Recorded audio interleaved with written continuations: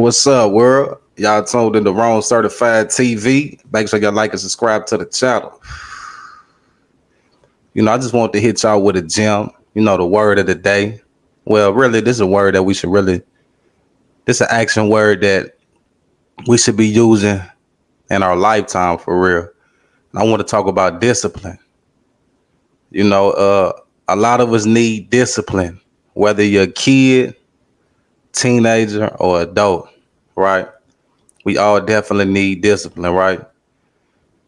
Discipline helps us stay focused and it helps us stay in line with our program for its routine.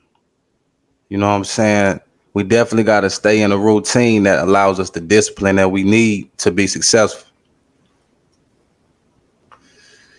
You know, we all need discipline, like, but I came to realization that we have to be accepted of self-acceptance that we need discipline, right? So we need that self-acceptance that we need discipline. I was just talking to one of my close partners about that on the phone.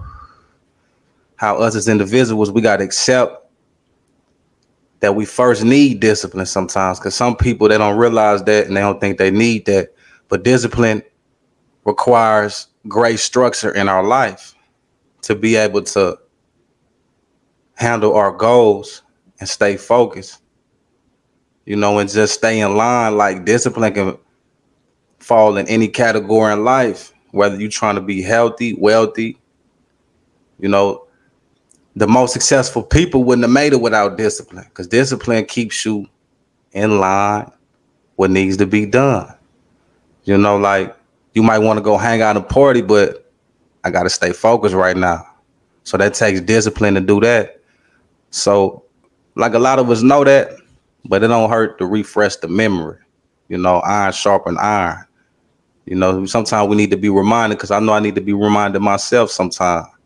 Like I gotta stay disciplined, stay down for the crown.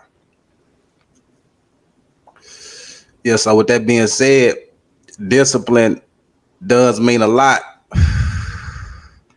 You know what I'm saying? It definitely does mean a lot. Like Michael Jordan couldn't be Michael Jordan without discipline. Long live Kobe, he couldn't be Kobe Bryant without discipline.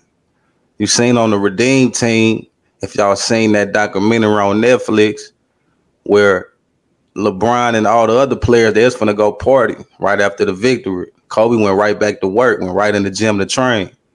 You know what I'm saying? Uh, discipline, the most disciplined people can beat the most talented people, especially when it comes to competitiveness. You know what I'm saying? Because you could be more talented, but if I got the discipline to work harder than you, I'm gonna excel better than you.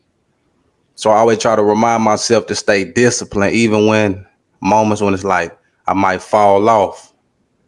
I gotta make sure I stay disciplined. So discipline definitely is the remedy to success and just being a better individual. I feel, and I feel like that's what they want us to lack out here is that self discipline. You know what I'm saying? Self discipline for real. Self discipline is very something that we all need.